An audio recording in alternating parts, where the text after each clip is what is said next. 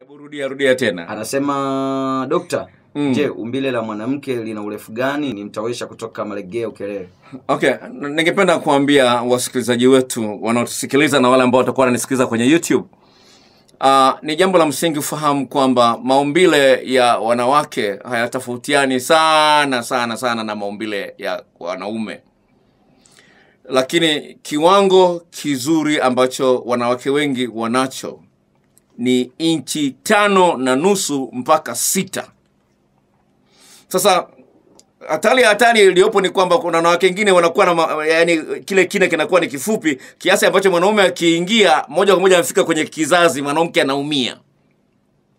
Kwa hiyo kuna wanawake wengine kweli kina chao kinakuwa kifupi, na hii inawaletea shida kwenye tendo la ndoa iwapo mwanaume aliye naye ana maumbile ambayo yanazidi inchi sita.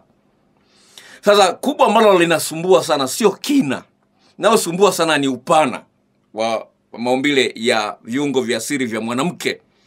Mwanamke anapokuwa amejifungua ana kuna maumbile yake yanaongezeka upana kiasi ambacho nimekutana na kesi moja kama wiki mbili zilizopita. Dada anasema kwamba baada ya kujifu, yaani kabla ya kujifungua sawa, mtoto wa kwanza, mtoto wa pili, mtoto wa pili hasa ndio ime- ime- imejitokeza. Kabla ya kujifungua alikuwa anafika kileleni kwa urahisi sana, lakini baada ya kujifungua akajikuta kufika kileleni imekuwa shida sana.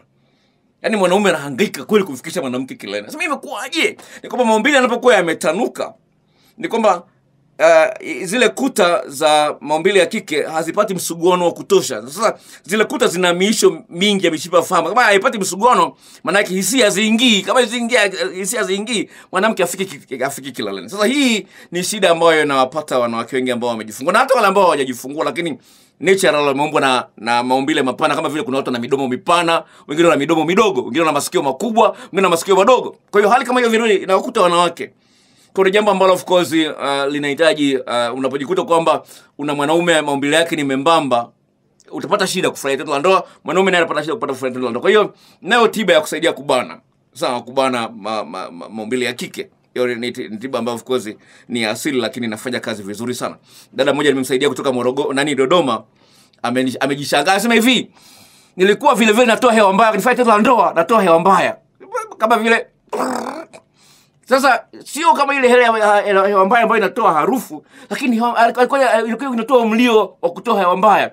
Nimemsaidia hiyo dawa na hiyo tatizo lenyewe limetoweka. Sasa hilo linawezekana na ni itakuwa ni swali la mwisho msikilizaji, kama au kuna lingine Sawa, Ah, yani nadhani kwamba Muda umeisha, muda umetuishia, muda umeisha. Nasema asante sana dokta, maswali niliyotamani kuyauliza ushajibu kwa ufasaha kabisa. Sasa kwa haraka haraka